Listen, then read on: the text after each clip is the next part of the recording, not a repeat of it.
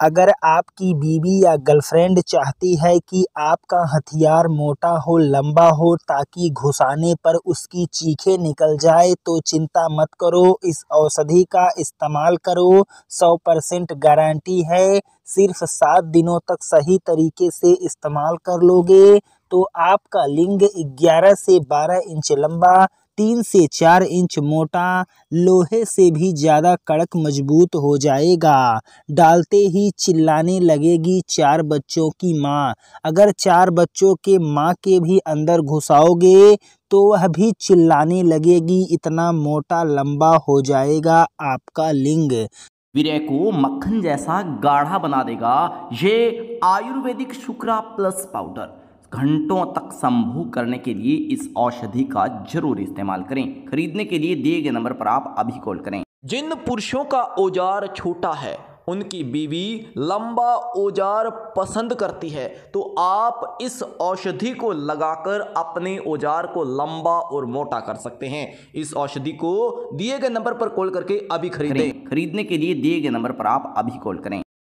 तो चलिए जाने। इससे पहले अगर आप हमारे चैनल पर नए आए हैं तो इस चैनल को सब्सक्राइब करके बेल आइकन को हिट कर दें, ताकि अगली आने वाली वीडियो की नोटिफिकेशन सबसे पहले आपको मिले।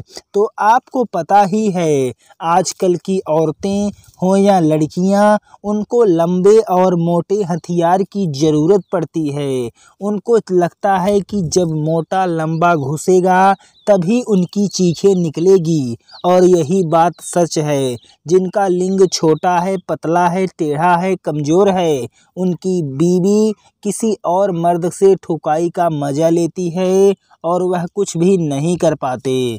तो अगर आपका लिंग छोटा है, पतला है, टेढ़ा है, कमज़ोर है, बहुत ही जल्दी वीर्य झड़ जाता है तो आपको इस औषधि का इस्तेमाल करना चाहिए।